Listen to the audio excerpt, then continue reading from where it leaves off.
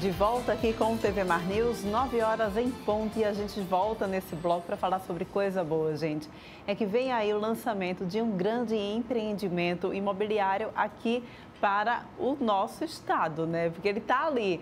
É, é Maceió, é Marechal Deodoro e quem vai nos tirar todas as dúvidas agora é Luiz Taboada, que vai estar então lançando esse condomínio Angatu. Seja bem-vindo mais uma vez aqui ao TV Mar News a gente fica nessa. Para mim é Maceió, porque é tão pertinho daqui, né, Luiz? É, bom dia a todos, é um prazer estar aqui novamente, tá? É, realmente a ilha de Santa Rita, né? Ela está a 10 minutos do centro de, de Maceió, né? Então hoje com uma pista duplicada, você, pô, você está dentro de Maceió, você pode dizer né, que você mora em Maceió, Exatamente. entendeu? É só uma questão de, né, a grande Maceió uhum. e a gente está a 10 minutos do centro com uma qualidade de vida né, excepcional.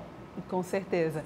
E aí vocês fazem o lançamento oficial desse condomínio Angatô, mas pelo que eu soube, já aí 80% das unidades já foram vendidas antes, antes mesmo desse lançamento, né? É, realmente, nós, é, nós obtivemos a documentação oficial final de julho.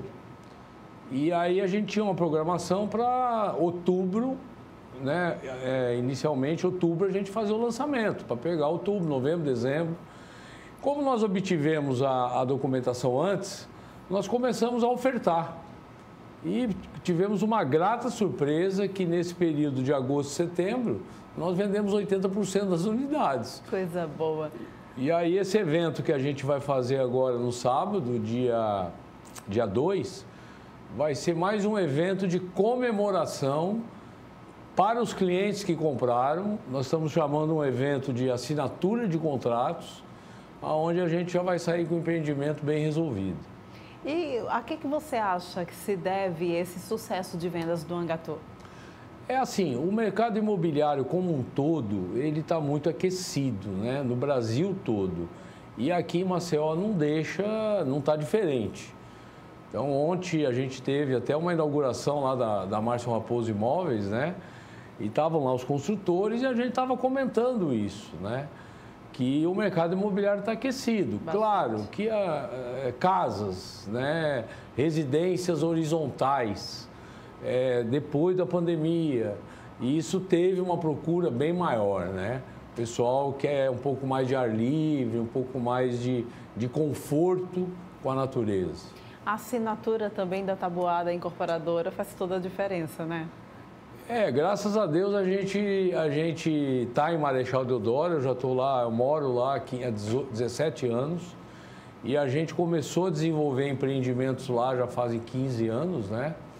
E graças a Deus a gente está conseguindo cumprir com todo o, o prometido. As nossas obras são entregues rigorosamente dentro do prazo. Nós estamos acabando agora o Vista Lagoa. Pois é, vocês já vêm de um grande empreendimento também de sucesso, que foi o Vista Lagoa, né? Que vocês estão entregando e já lança esse que também já está com suas vendas praticamente é, todas feitas, né? E fala um pouco também sobre o Vista Lagoa, o que, que diferencia o Vista Lagoa do Angatu? É, o Vista Lagoa, ele foi um empreendimento que até a gente usou a, a, a grife, né, incomparável. Uhum. Então, é um empreendimento onde você tem uma qualidade de vida e uma infraestrutura muito grande. Você tem hoje lá no Vista Lagoa dois lagos, coisa, um, lagos particulares. Você tem uma infraestrutura de lazer fenomenal. E o que, que aconteceu? O Vista Lagoa entrou bem junto, vamos dizer, com a pandemia, onde o pessoal procurava casas, né? Então, Vista foi um sucesso absoluto. Nós vendemos todos os lotes, são 400 lotes. Nós, nós temos um prazo contratual para entregar a obra em fevereiro de 22. Se Deus quiser, a gente entrega em dezembro. Nós vamos antecipar a obra está muito adiantada, está muito bonita. E a gente convida também todo mundo que quiser ir visitar o Vista para ter uma ideia do que, que é um condomínio de lotes.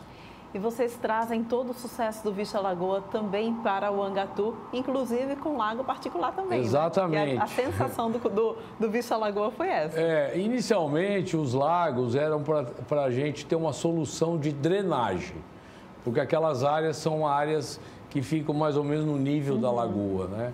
Então, a gente precisava é, conseguir uma solução de drenagem. E os nossos projetistas acharam essa solução, que era fazer um lago para a água escorrer e depois a água fluvial ir para a lagoa, né? E acabou que os lagos viraram, viraram a vedete do empreendimento. Uhum. Então, no, no Angatu, a área é muito próxima, muito parecida.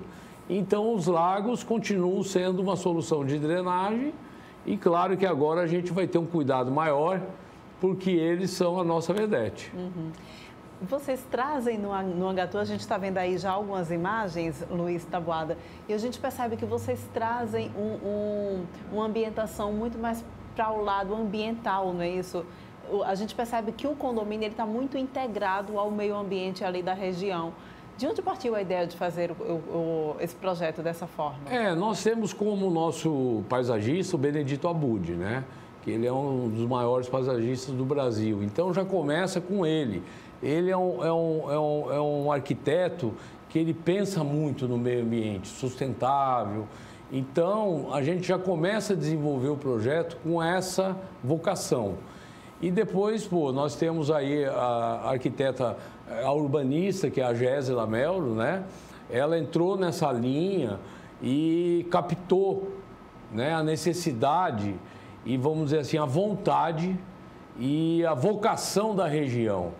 Então juntou pô, o urbanista com o paisagismo e aí saiu um empreendimento que você tem uma qualidade de vida fenomenal. Tem a pista de Cooper também?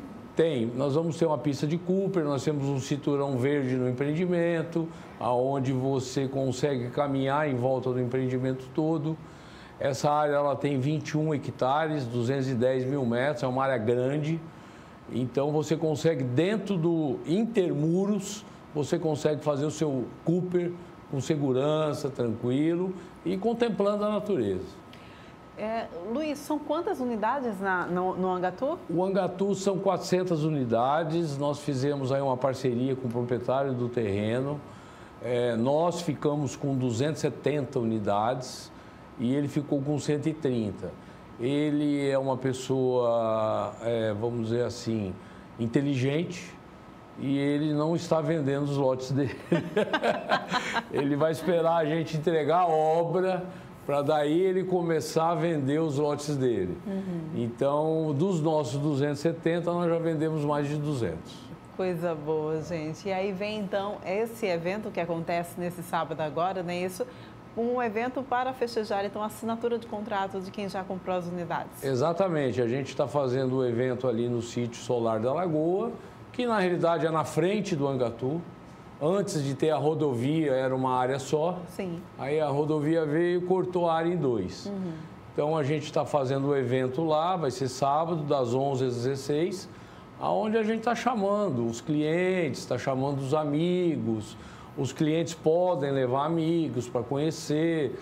A gente está numa fase de obra ainda muito inicial, não vai dar para ver muita, muita obra, não dá para entrar na obra por, uhum. por conta da segurança. Mas assim, vai ser legal. O cliente vai começar a, vi, a viver a localização que ele vai morar, entendeu? Coisa boa. Vamos falar um pouco você falou aí muito bem da localização. Vamos falar um pouco sobre a, a, a, a morada lá naquela região, né? A gente uhum. percebe que com empreendimentos como Vista Lagoa, o Angatu, a própria, o próprio Laguna também, Isso. os empreendimentos imobiliários ali naquela região são obrigados a manter um nível elevado, né? É, a gente procurou desde a época do Laguna, né? Eu trabalhava na Cipesa, a gente, o pessoal, né? O Mauro Paiva ele sempre teve essa, essa intenção de, de fazer empreendimentos que tivessem é, padrão, né? Se pesa por natureza, né? Então a gente começou a colocar padrão com Laguna, aí fizemos o Vista, padrão, Angatu, padrão. E aí o que, que aconteceu? Os concorrentes, outras empresas do mercado, também estão indo para lá e mantendo padrão. Então isso foi muito legal para a região. Pois é, né? É uma região também que tem crescido bastante, né? O mercado imobiliário, o setor imobiliário aí tem sido bastante, bastante ampliado por lá, né? É, a gente vê que o litoral sul, ele, ele é uma grande área de expansão. Ele tem uma vocação mais horizontal, é, o litoral norte tem uma vocação mais vertical. Então, eu acho que Maceió está crescendo para os dois lados aí, legal. Coisa boa. É. Luiz Taboada, você já, já nos apresentou o Angatu muito bem. Eu queria então que você pudesse passar as facilidades de compra para que você possa vender então as suas 70 unidades ah, restantes, sim. né? É, na realidade, a gente procura sempre é, atender o fluxo de caixa do cliente. Então a gente tem uma tabela, uma tabela referencial, é, mas assim, o cliente, a gente procura atender o que, que o cliente pode dar de sinal a gente parcela o sinal, o, qual é a prestação que cabe no bolso do cliente, a gente procura fazer uma forma que o cliente consiga pagar com tranquilidade também. Né? A gente não quer. Nós, to, esses dois empreendimentos, tanto Vista como o Angatu, eles estão sendo vendidos 100% para a primeira residência uhum. e para as pessoas que vão morar. Nós não estamos vendendo lotes para investidores. Isso é uma coisa muito boa para o condomínio. Por quê? Porque quando você entrega, o ritmo de construção, o ritmo de ocupação é muito grande. Então a gente procura atender a necessidade do cliente. Então é muito difícil o cliente lá no stand sentar, ver a tabela, olhar o empreendimento, ele entra no Vista, ele vê o padrão de qualidade e ele compra. Uhum. Entendeu? Ele compra. É muito difícil ele sair de lá sem comprar. Muito bom. Vamos falar um pouco sobre o mercado imobiliário de, de forma geral aqui no nosso estado, né? Uhum. É, essa é de fato a melhor hora para a gente comprar? Eu acho que é, porque o que, que acontece, né? O imóvel sempre foi, eu acho que sempre será, um investimento mais seguro, né? A gente tem aí altos e baixos na economia, a gente tem altos e baixos na política que influencia muito a economia. E o imóvel, ele está sempre ali, é um pedaço de terra, um pedaço de tijolo que está ali. Então, é assim, eu acho que hoje nada mais seguro do que você comprar um imóvel. O ano que vem nós vamos ter eleição, nós vamos ter aí é, a gente não sabe o que, que vai acontecer né, com a economia, até por influência externa, né? Uhum. Você vê a China com problema lá na construção civil.